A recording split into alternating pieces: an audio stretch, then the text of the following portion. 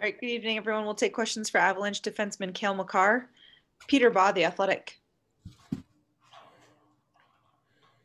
Hey, Cale, your guys' uh, power play got off to a fast start tonight. What did you think of, of your special teams performance?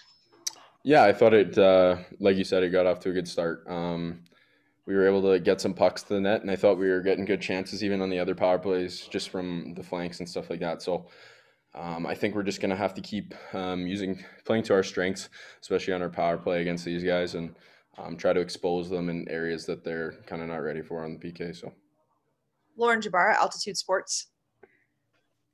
Hey, Cale, obviously, you know, don't want to see guys like Graves and, and Girard go down. How difficult is it adjusting that third period to playing with only four defensemen?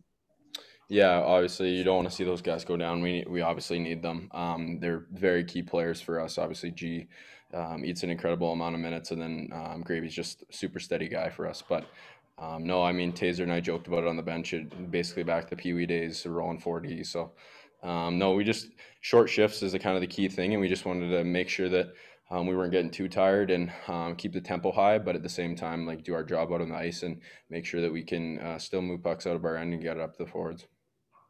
Eric Dean, Mile High Sports.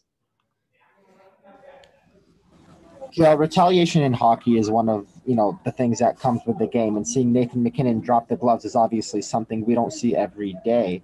Uh, my question is actually a two-parter. What are your thoughts of Nathan going in there and fighting Kevin Labanc? And number two, do you think any of this carries over into the game tomorrow night?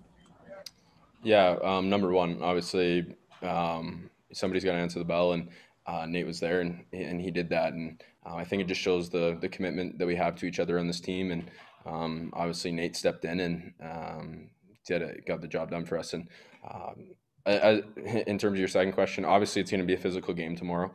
Um, who knows if tensions are going to boil over um, right at the beginning or not? But we have to be prepared for anything. And um, yeah, I'm not I'm not psychic, so I don't really know that. But yeah. Evan Rawal, DNVR. Hey, Cale, I wanted to ask you about Connor Timmins. Uh, I know you play with him a little bit in juniors, but or uh, World Juniors, but I know he's uh, he, it looks like a lot more confident the last five games since coming back up. What have you seen from him these last five games? Yeah, I think Timmy's just getting more confident with the puck. Um, he, he's being put in roles where um, he's getting getting ice time where he, he can produce offensively, and he had a, he had some great chances tonight and a few bad bounces, but no, you can definitely tell he's getting more comfortable, and um, obviously he's a he's a great D-man for us, and we're going to need him. So um, no, it's awesome to see that he's uh, he's getting comfortable. Mike Chambers, Denver Post. Hey, Cale, just quick thoughts about seeing the uh, three game losing streak and uh, obviously it wasn't a big one but it was something that you guys were unused to i'm sure that you uh, are glad to see that end yeah um, obviously you don't want to lose games uh, but i think for us we went through stints in all those games where we we were at the top of our game and it just it fell into inconsistent play and um, whether it was just bounces or not going our way but i think um, for us, it was just getting back to our game tonight. I touched on it after the first period. It's just for us uh, making sure that we get in hard on the forecheck and um, make making sure that we get on their their D early. But um, overall, I think uh, hopefully we can get back on track here. And like you said, it's obviously not fun losing three games in a row. So, Adrian Dater, Colorado Hockey Now. Yeah, it seemed like a few guys were slipping and falling tonight. Uh, was the ice a little tougher than normal tonight? Uh, I I liked the ice tonight. I don't know if it was just my blades. I didn't I didn't change them tonight, but um, yeah, maybe they just a few guys caught some edges or whatnot. But um, the, the ice felt pretty good to me. Last one here for Cale, Rick Sadowski, NHL.com. I wanted to ask about Groovy. Guy hasn't played in two weeks and he throws a shutout. Yeah, it's Groovy. Groovy's uh, always unbelievable for us, um, regardless of the break. He was working hard to get back in physical shape if he was even out of it. So um, he, he he's our backbone of our team, and he played incredible for us tonight. And uh, other than the one unlucky little, or I guess the lucky offside there, but um, no, he played uh, incredible. All right, thank you, Cale. Thank you.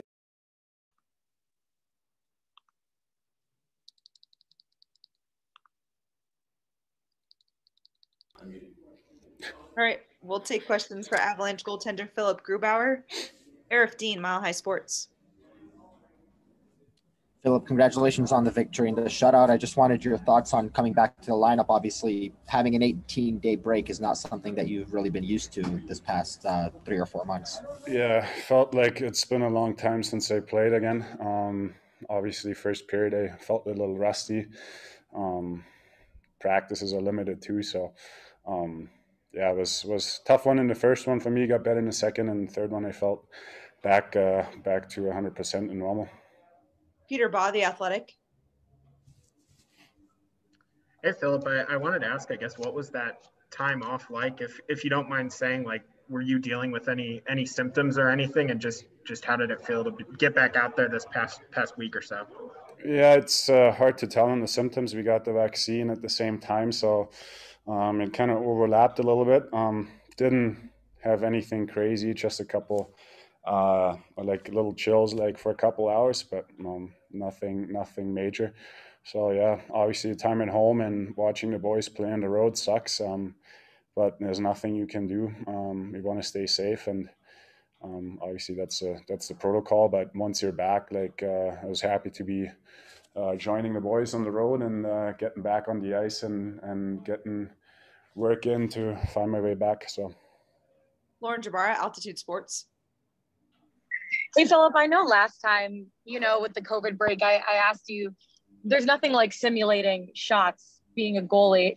Did you use that computer simulation or how do, how do you kind of, you know, stay sharp with those reflexes in a situation like that?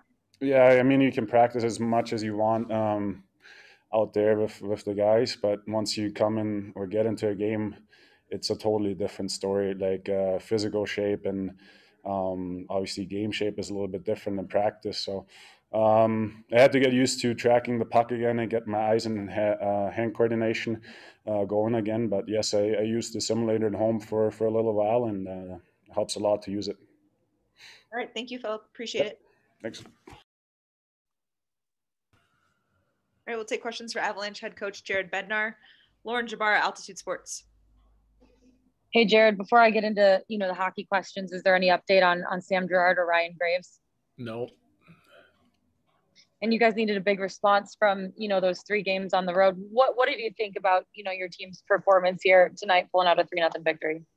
I thought we checked really well, and special teams were uh, outstanding. Yeah, both power play gets us two. You know, first power play right away, we get two really good looks in the first probably 25 seconds of the power play. Score on our on our um, third opportunity and then we get another power play not too long after that. We're skating. Um, they take a penalty on us, and we had two more really good looks, and we scored on our third opportunity on that second one too. So that gets us a lead.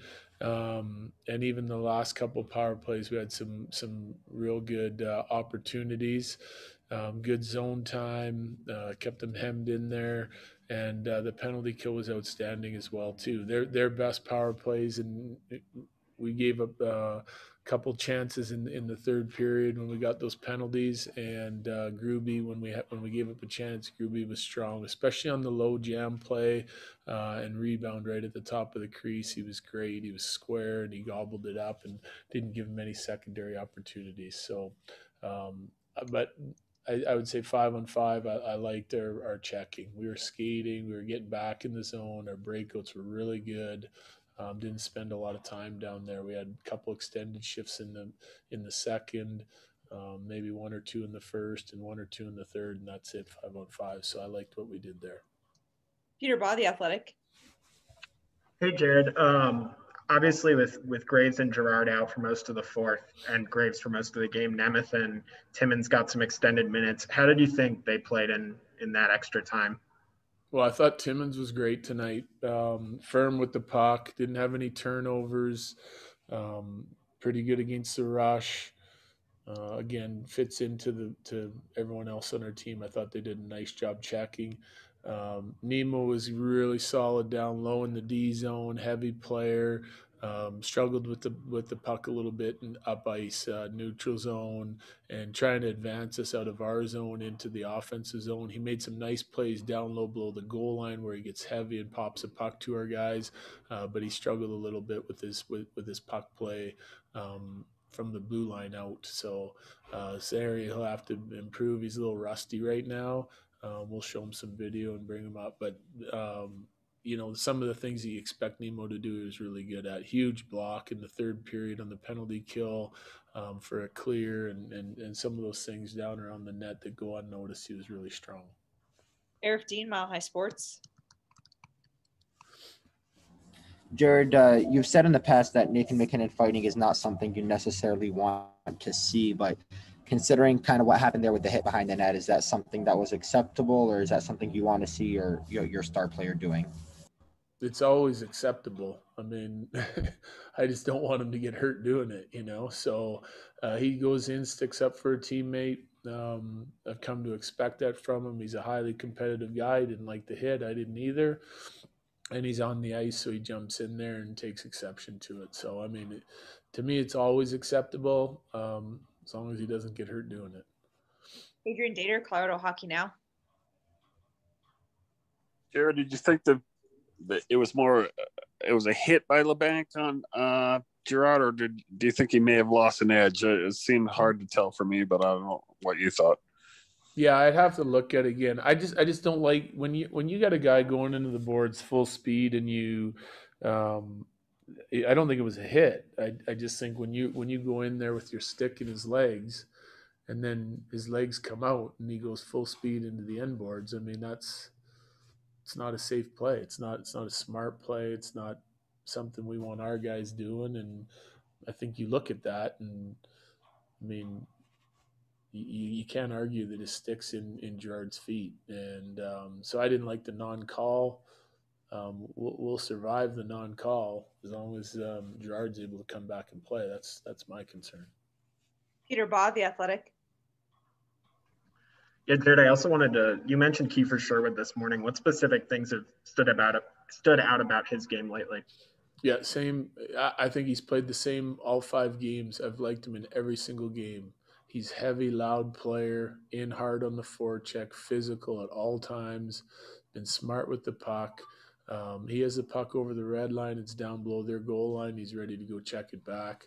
Um, real good defending details. He's he's had good vision. He's had some opportunities to score. He's made some plays for to set up his line mates. Um, great all around game um, again tonight, and that and that's I don't even know if it's four or five in a row for him now that that I, I feel like he's been outstanding. We'll take one more here for Jared. Mike Chambers, Denver Post. Jared, how much do you think uh, Rantanen and Donskoy uh, sp- sparked that power play, especially in the first period there? Oh, huge impact. I mean, huge impact. Both those guys have been exceptional in their position on that power play. I mean, we know the year Mikko's having.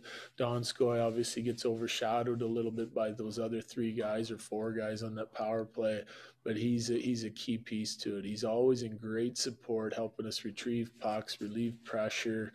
Um, makes a lot of eyes up plays to the to the open man and he's moving around in there and becoming a shooter. He has a couple looks tonight um, in traffic. I mean, he, he's a big piece of it. That, that power play is you know, works better with the righty in there, um, especially on a night like tonight teams what when the puck goes to Cale Makar, teams are, are leaking out of the middle of the ice to go cover uh, Nate, and lots of times they do that with their forwards, like they did tonight. It just opens other things up on the other side of the ice for Mikko to use Donskoy or Landy down low and then come to the net, and um, so so it gives us a lot of options there, especially when it's a righty because he's on his one time side if you use Mikko. All right, thank you, Jared. All right, thank you.